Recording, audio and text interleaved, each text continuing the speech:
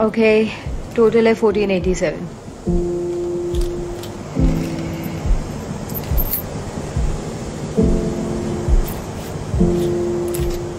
ये six dollar twelve cents है. मैंने कहा फोर्टीन एटी सेवन इतने पैसे तो मेरे पास नहीं होंगे। बस जो भी आपके सामने है। तो इसमें से कुछ वापस रख दो। आप मैं नहीं वापस रख लीजिए। एक्सक्यूज मी क्या आप जल्दी कर सकते हैं? हमारे पास पूरा दिन नहीं है। मैं माफ़ी चाहता हूँ। डैड क्या कोई गड़बड़ है? नहीं बेटा कोई गड़बड़ नहीं है। अब टोटल है ट्वेल्व एटी सिक्स अभी भी पैसे कम है। तो आप ये केक भी निकाल लीजिए। डैड नहीं। ये दादाजी का बर्थडे केक है। आप जानते हैं वो कितने सैड हैं। प्लीज़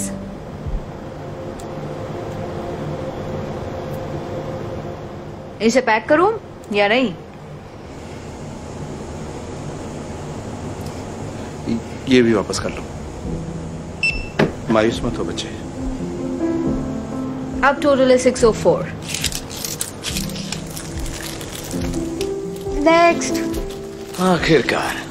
पता नहीं ऐसे लोग यहाँ क्यों आते हैं। हाँ सच में।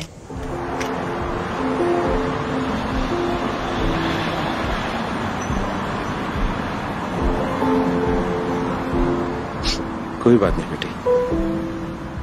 वो समझ जाएँगे। पर दादाजी हमेशा चुप बैठे रहते हैं। वो केक देखकर कितना खुश हो जाते excuse me I am sorry मैं आपको परेशान नहीं करना चाहता पर मैंने देखा अंदर आपके साथ क्या हुआ और मैं आपकी मदद करना चाहता हूँ। तो प्लीज़ मना मत कीजिए।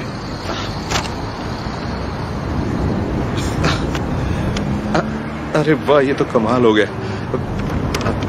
थैंक यू लेकिन आप ये सब क्यों कर रहे हैं? मैं तो आपको जानता भी नहीं। असल में, मैं जानता हूँ कैसा लगता है जब हम बेबस हो जाते हैं। जब मैं छोटा था, मैं और मेरी माँ सड़क पर रहते थे और हमारे पास खाने के भी पैसे नहीं होते। हम ग्रोसरी स्टोर जाते, पर मेरी मॉम के पास खाने के लिए कभी पूरे पैसे नहीं होते थे।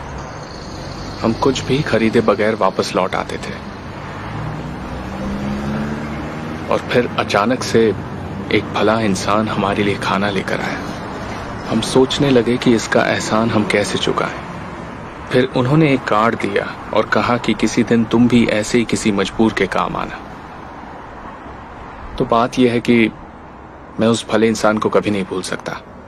मुझे लगा वो सिर्फ़ खाना देकर गए, पर वो उससे भी बड़ी सीख देकर चले गए, जो मैं आज तक नहीं भूल पाया। उनसे मिलने के बाद मेरी पूरी ज़िंदगी बदल गई। जो शायद उन्हें भी नहीं पता होगा। वाकई ये बहुत ही प्यारी कहानी है। मेरे दादाजी बहुत खुश हो जाएँगे। ये लीजिए ये आपके लिए। और याद रखना किसी भी मजबूर इंसान की मदद ज़रूर करना। हाँ ज़रूर करूँगा। आपका शुक्रिया।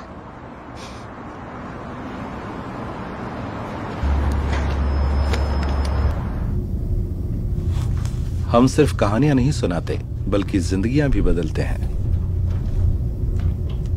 है डैड सोचिए हम क्या लाए happy birthday to you happy birthday to you happy birthday dear दादाजी हैप्पी बर्थडे टू यू बहुत प्यारा है। मेरा फेवरेट केक है।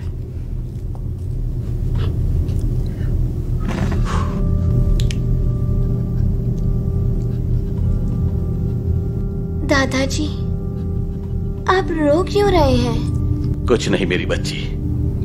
मैं ठीक हूँ। प्लीज़ डैड आप आप बताइए ना क्या बात है?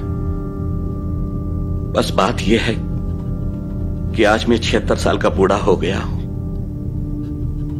और मैं बस यही सोच रहा हूँ कि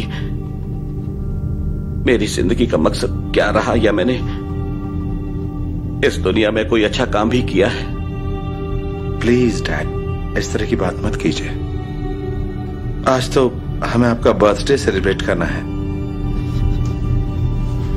मैं थोड़ा भावुक हो गया था। पर ये बताओ तुमने ये केक कैसे खरीद लिया? क्योंकि घर के हालात में अच्छी तरह जानता हूँ। अगर सच कहूँ तो मेरे मेरे पास कोई पैसे नहीं थे। तभी एक भला इंसान आया और उसने हमारे लिए ये खरीदा। और फिर कहा कि ज़िंदगी में कभी न कभी किसी मजबूर की मदद ज़रूर करना। उसने हमें ये कार्ड भी दिया। उसे ये किसी आदमी ने दिया था जब वो छोटा बच्चा था। इसे जरूरतमंद को दें।